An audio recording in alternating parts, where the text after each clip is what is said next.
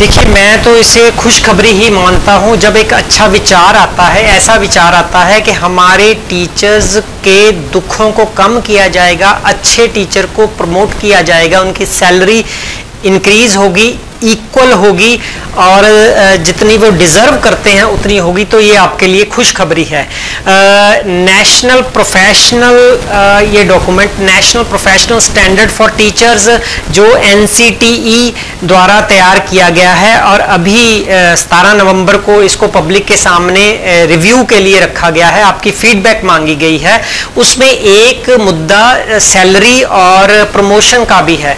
तो हम ये इस इस इस डॉक्यूमेंट डॉक्यूमेंट में ये एक्सेप्ट किया है कि जो हमारे टीचर हैं, वो इस पेन से गुजर के जाते हैं। खास करके जो प्राइवेटाइजेशन की पेन है प्राइवेट स्कूल में जो लो सैलरी की लो प्रमोशन की जो प्रोफेशनल डेवलपमेंट धीरे धीरे होती है, उसकी पेन को आइडेंटिफाई किया गया है। Challenges faced by teacher today in India है। लो सैलरी हम सब जानते हैं प्राइवेट में प्राइवेट शब्द काफ़ी है सैलरी से रिलेट करने के लिए और कुछ कहने के लिए नहीं है। यहाँ खुशी खबरी बनेगी आपके लिए। नो ग्रोथ आपको स्किल डेवलपमेंट के लिए कितना प्रमोट किया जाता है, कितनी अपॉर्चुनिटी दी जाती है, कितना फंड दिया जाता है? नहीं, ऐसा कुछ नहीं होता। या कितना होता है कोई कुछ स्कूल्स में होता है सभी में नहीं।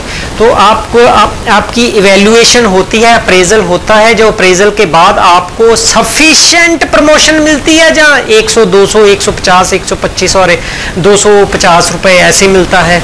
मतलब पूरी बेजती की जाती है। देखिए एक सब्जेक्ट वाइज पेन भी है।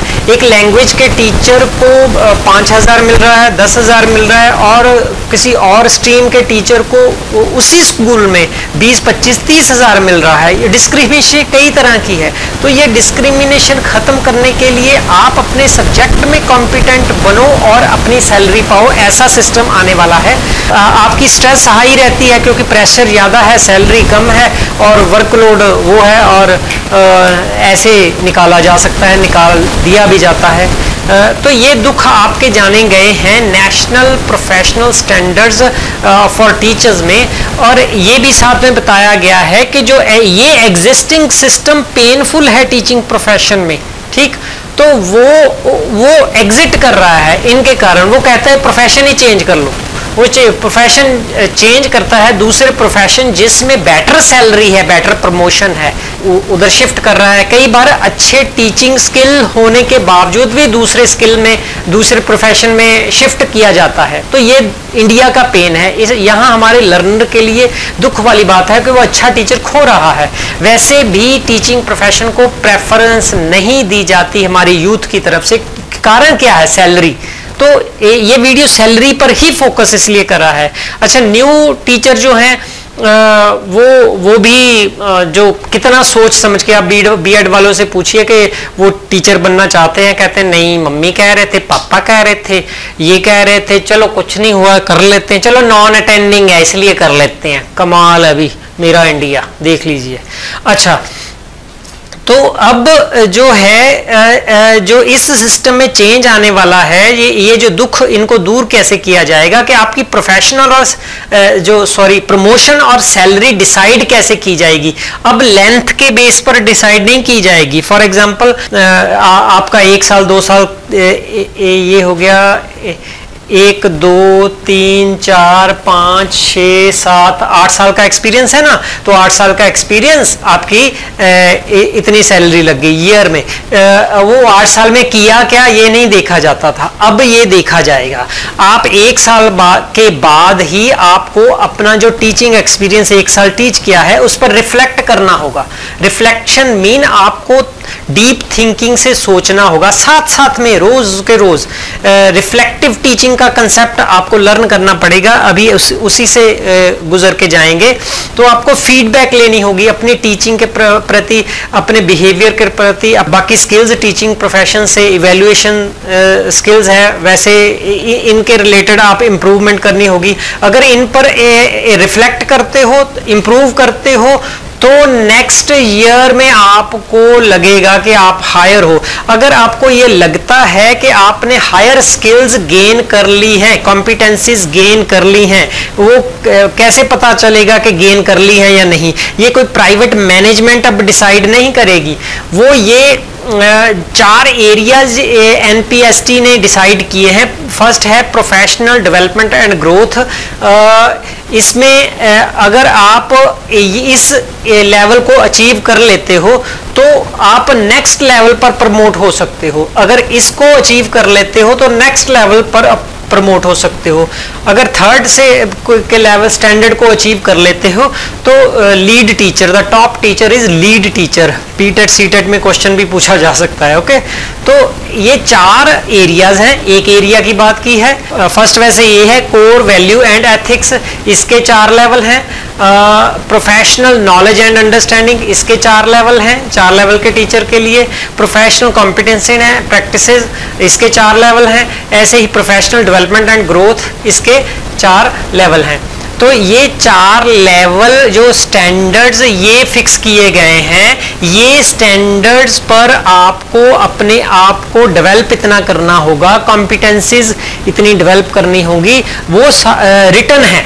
तो अगर आपको लगता है कि आप इस लेवल की डेवलपमेंट अपने आप में कर चुके हो, कैसे होनी अब जैसे पीछे बता के हूँ अगर रिफ्लेक्टिव टीचर बनते हो तो आप अपना पोर्टफोलियो अपने एविडेंस को साथ साथ में कलेक्ट करने होंगे कि yes I am able to teach this level okay तो वो एविडेंस क्या होंगे? आपके लेसन प्लान्स हो सकते हैं आपकी अच्छी बेस्ट प्रैक्टिसेस हो सकती हैं आपके जो इवेल्युएशन स्ट्रेटजीज हो सकती हैं नई टीचिंग स्ट्रेटजीज आपने जो लर्न की है वो हो सकती हैं इनोवेट इनोवेशंस हो सकती हैं।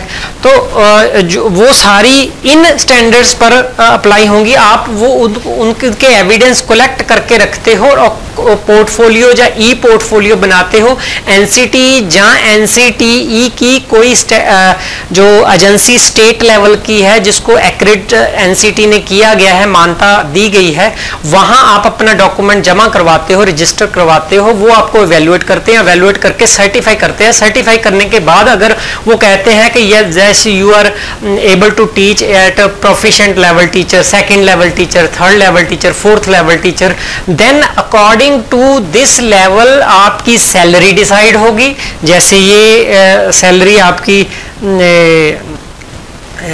यहाँ से ये रही। ठीक है? इस अगर इस लेवल के स्टैंडर्ड के अगेंस्ट आपको एवेल्युएट किया गया है, आप ये अचीव कर लेते हो तो आपका लेवल भी इंक्रीज हो गया प्रमोशन होगी सैलरी भी इंक्रीज हो गई।